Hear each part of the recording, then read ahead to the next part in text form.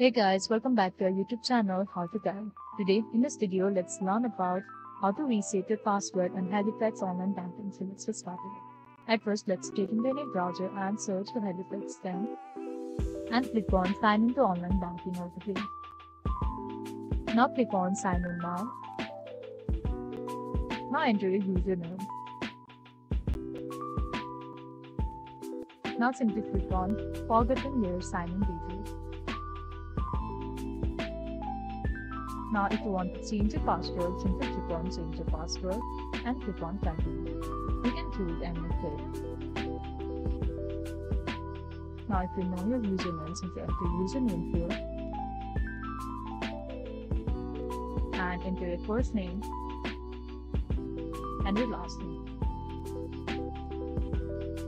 Enter the date of birth. Now simply click on continue. After this, you need to do the verification through email or phone number. Once the verification is done, we can reset our password.